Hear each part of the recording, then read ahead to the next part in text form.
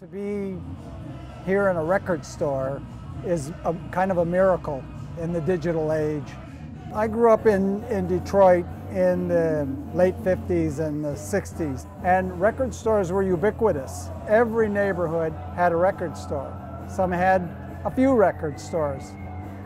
It was a big thing. Everybody collected records, everybody listened to music. Sometimes a record store would also sell musical instruments and you could get like music lessons there. And I was taking guitar lessons in a music store. It was called Town and Country Music in Lincoln Park, Michigan. It's a blue collar suburb of Detroit.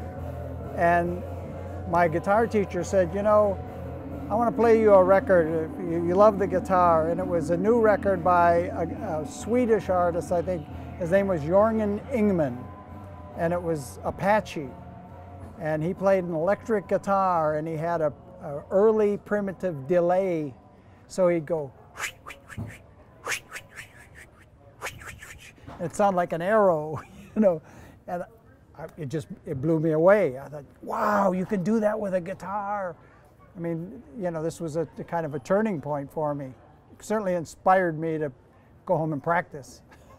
In the late 1960s when the MC5 was emerging. We lived in the ghetto of Detroit, down by the university, the, and we lived. We were part of a community of uh, of uh, beatnik, hippie, anarchist uh, ne'er-do-wells, and you could have long hair, you could smoke weed, you could play music loud at night, nobody cared, and and people of color could live with uh, white people and nobody give a damn. You know, everyone, we're all poor, we're all struggling artists. And we found that um, we were all the same. when I was a young man and started uh, MC5, I was trying to find uh, my voice. I was trying to find a sound. I figured I could play the guitar pretty well, but where could I go beyond what I could play. What was the next step? John Sinclair turned me on to the free jazz movement, the music of Albert Ayler and Pharoah Sanders and Archie Shepp and Sun Ra and John Coltrane, Cecil Taylor, and all the others. And I heard that these musicians were on the same search I was. They were trying to find the next step, where to go to. And I realized they're on the right track. And I got on it with them and embrace this idea of breaking the rules. You have to know what the rules are in order to break them. Um, because playing free is not actually free. You have to play with more uh, discipline, more musical integrity. It's what we tried to do in the MC5, and it's what I'm doing on Lexington. Really, the truth is, I'm not playing anything new at all.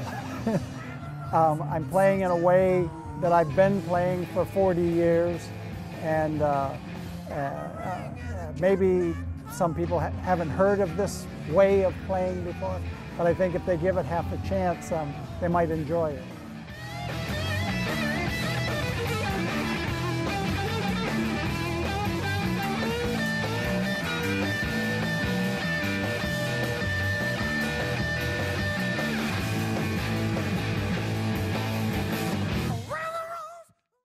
Today is the release of my new album, Lexington.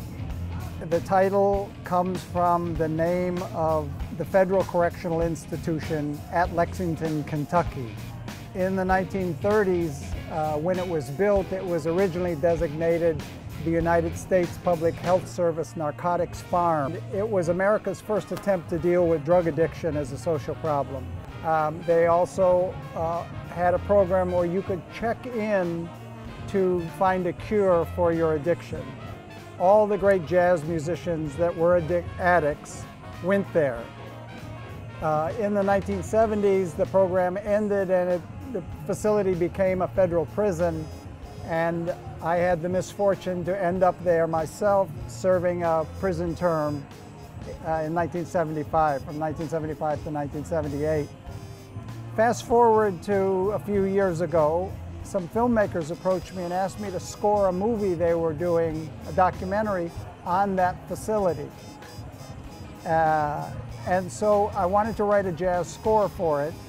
and it started dredging up all my memories of my time in prison. And I thought, you know, over the last 30 years, I've watched as more and more people just like me have gone to prison, nonviolent, economic, drug crime prisoners. 2.3 million of our fellows in prison uh, today, half of them nonviolent uh, drug crimes. Um, and I'm, I'm, I'm unhappy with that figure. I think it's a disgrace, and I think it's a, a national and international embarrassment. So I work for prison reform, and I thought I could tie all these things in together. My love of free jazz, the his, history of the facility, and um, this conversation that we're having right now about hyper-incarceration in America. And if I could use a, the music to propel this conversation forward, then it would probably be a step in the right direction.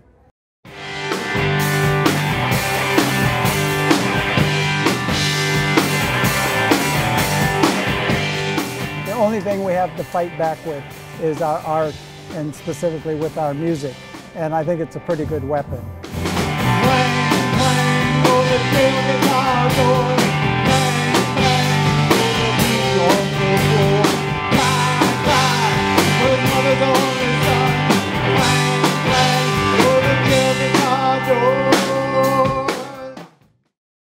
growing up listening to bands like the Beach Boys, you know, we didn't have much surfing in Detroit.